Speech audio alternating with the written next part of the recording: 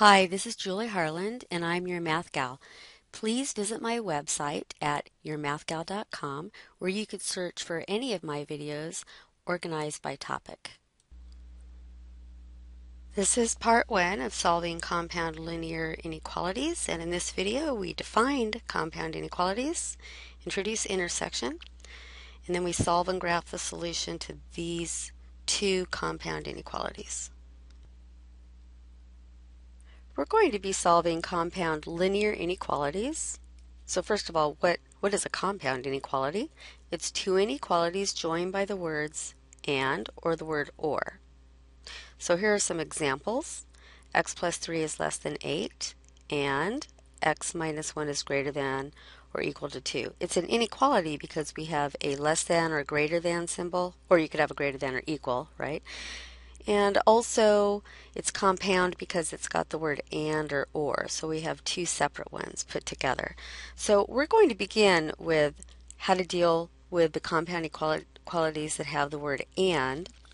And the word and basically means both things have to be true.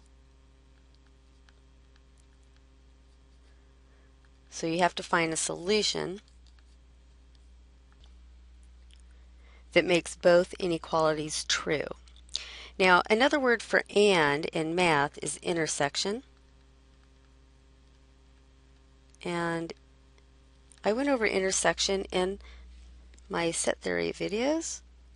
So if you haven't seen that before, you might want to watch a little about intersection. But here's an example of intersection. If I want to find the solution to two sets, let's say one's containing 2, 3, 4, and 5, an intersection uses this symbol. Okay, so the symbol for intersection looks like this. With this other set, let's say 1, 4, 9, what you're trying to find is a set that contains elements that are in each of them. So it has to be in both. So for this particular example, 4 is the only number in both. But I could have had two numbers, I could have had no numbers that were in both, etc. So, and an intersection kind of go together. So we're going to solve this problem. x plus 3 is less than 8 and x minus 1 is greater than or equal to 2. We're going to graph it on a number line and then we're going to write our answer using interval notation. If you need a review on interval notation, look at my videos on interval notation. If you need to review how to solve just a regular old inequality, look at my videos on inequalities. The main difference between solving an inequality and uh, an inequality is that when you multiply or divide by a negative number, you're going to have to switch the inequality sign. All right. And of course, there are many solutions in a inequality. Okay, so here's the idea. You want to solve each of these separately to begin with, and then you want to see what they have in common. That's what and means. You want the solutions they both have in common for your final answer. So we take x plus 3 is less than 8, and how are we going to solve that? Well, we will subtract 3 from both sides. So that says x is less than 5. So we have solved that inequality. All right, let's solve the other one. We're going to add 1 to both sides. So we have x is greater than or equal to 3. Now what we want are solutions that make both true. Right? Well, so there are a lot of numbers where x is less than 5, and there's a lot of numbers where x is greater than or equal to 3. We want to find a solution for that works in both. One way of doing it is to graph each of them and look at the overlap. So if I graph x less than 5, and I graph x greater than or equal to 3 and I want to make number lines so they both have the markings in the same place so I know I'm going to have to have a number line where there's both a 3 and a 5.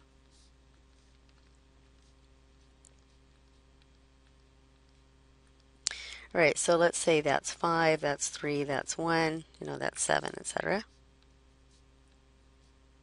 You don't have to show where 0 is. So if x is less than 5, I'm going to graph this using interval notation. So we would have number of parentheses right here, going to the left. All the numbers less than 5 go that way. Now, I want to also graph x is greater than or equal to 3. So I want numbers. Remember, greater than or equal to 3 means either x is greater than 3 or x can be equal to 3. There's two separate things. You can't have both things happen at the same time. So if it's equal to 3, you would have a dot on there, or if you're using interval notation, remember we use this bracket going to the right.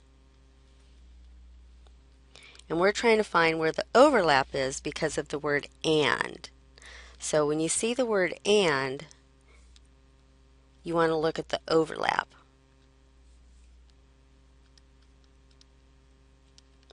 Okay, if you graph. Because those are going to be the solutions for both. So now look at this carefully. Where is the overlap? Well, the smallest number they both have in common is 3, right?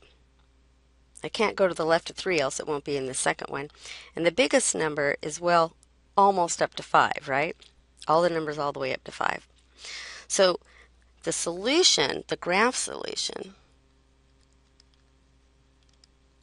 right here,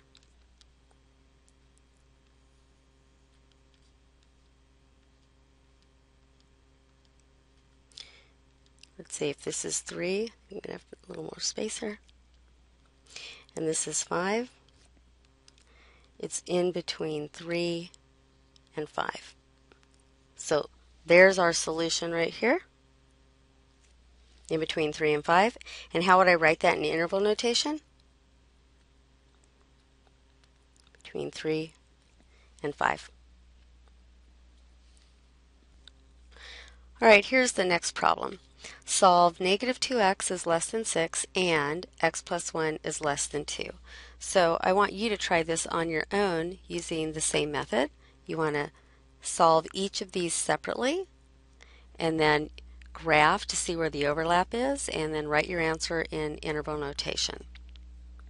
All right, so let's do this. Well, this first one, you have to be careful. When you have negative 2x is less than 6, You would normally, if it was an equation, divide by a, a negative number, but remember when you divide by a negative number, uh, it's not true anymore. It's still not going to be a less than symbol, so you have to cross that out and say it's greater than. Do it right at that point. So that means x is greater than negative 3. All right, how do we solve this other one? We can subtract 1 from both sides. So we have x is less than 1. So I want both these things to happen. x has to be greater than negative 3 and at the same time less than 1. Okay, now can you think of any numbers that are bigger than negative 3 and also less than 1?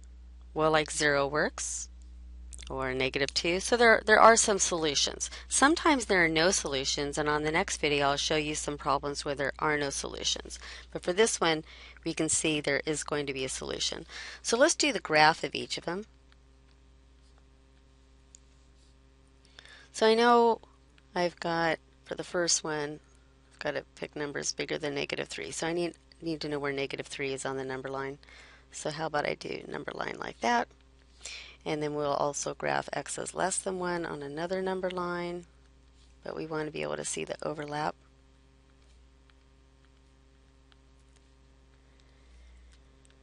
All right, so the first one, x is greater than negative 3 using interval notation, would be off to the right here forever.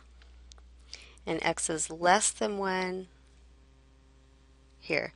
Now notice both of these um, are strict inequalities. I don't have an equal, so there are no brackets for this one.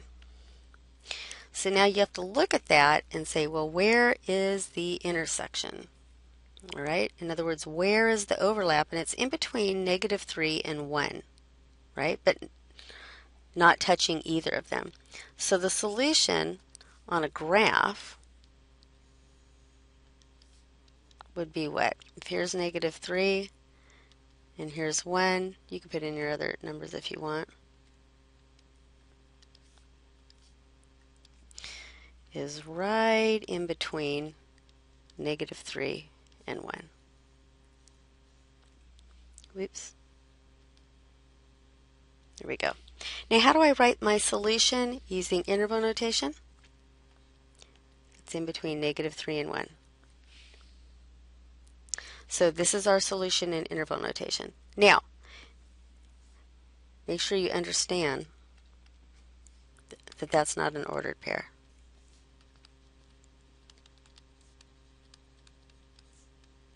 I know it looks like an ordered pair, but it's a, we're looking for a solution in interval notation, and sometimes interval notation looks like ordered pairs.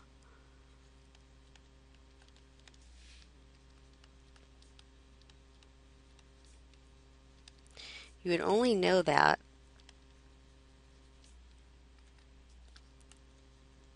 because of the context of the problem, right?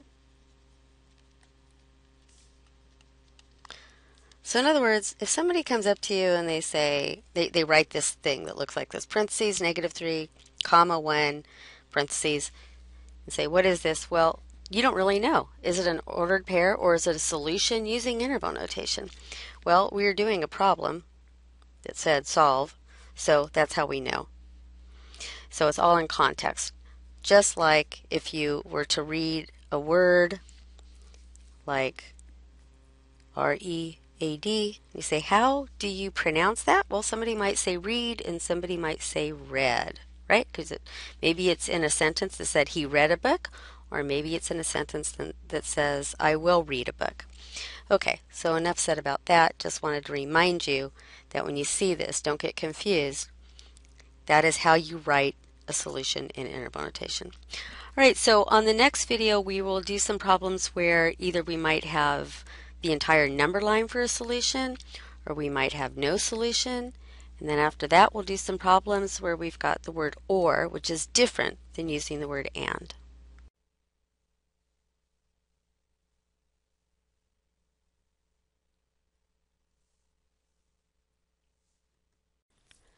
Please visit my website at yourmathgal.com where you can view all of my videos which are organized by topic.